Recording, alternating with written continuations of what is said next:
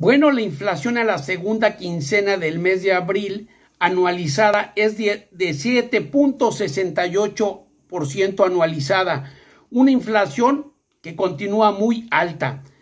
¿Qué va a continuar? Bueno, que Banjico aumente su tasa de referencia el próximo jueves 12 de mayo.